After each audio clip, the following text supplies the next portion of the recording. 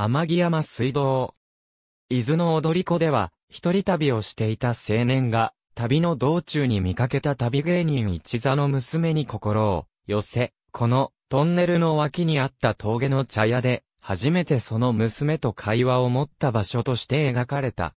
伊豆半島の地勢と天城峠の位置天城越えは、静岡県伊豆市と鴨郡河津町の境にある天城峠を越える旅路のこと。伊豆半島を南北に縦断する天城峠越えの道は天城路や天城街道とも呼ばれる。伊豆半島の南に位置する下田と北に位置する三島を結ぶ街道は下田街道といい、天城越えの天城路は道街道の一部にあたる。伊豆半島の内陸と半島南部の間には天城山の峰々があり、これを越えるのは下田街道の最大の難所であった。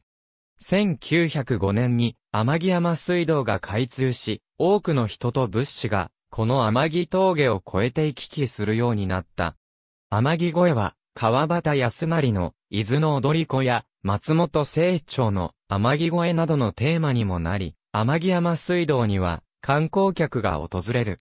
1970年に新天城トンネルが開通したため、旧街道の天城山水道を含む天城路の現在は、踊り子歩道と呼ばれる、全長約 16km の遊歩道として整備されており、常連の滝や自然休養林の昭和の森といった自然を楽しみながら歩くことのできる、ハイキングコースとなっている。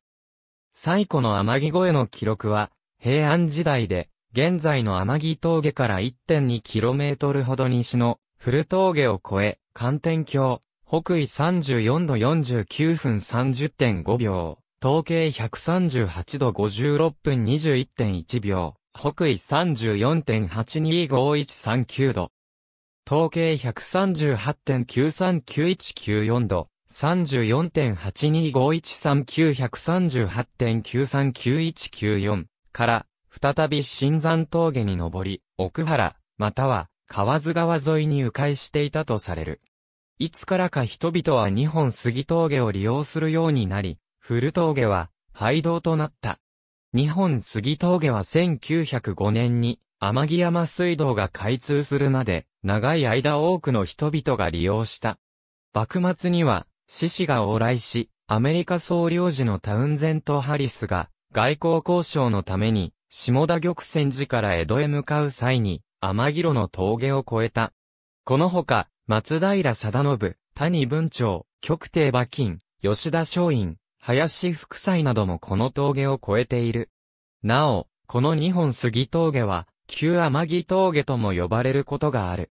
天城は、穏やかな気候と自然に恵まれた深い山の懐と、そこに流れる清流に恵まれた温泉郷にあったことから、多くの文人が訪れており、数多くの小説や詩の舞台として天城越えが登場する。川端康成の名作で知られる小説、伊豆の踊り子では、通りがつづら折りになっていよいよ、天城峠に近づいたと思う頃、と描かれており、峠から物語は始まっている。川端の他にも、島崎東村や井上康などの小説家たちも、天城の自然を愛して、天城路を歩いており、現在では、天城路に沿って、ゆかりの文学碑や詩碑も数多く建てられている。ABCD ロムインターナショナル 2005P120 AB 浅井健治2015 P136 ロムインターナショナル2005ピアニッシモ120-121出展道の駅山木越えの掲示板よりハット ABCD 日本の道百選研究会2002ピアニッシモ、110-111、出展、日本杉峠の現地解説版より出展、昭和の森会館の展示より、ロムインターナショナル 2005P121。ありがとうございます。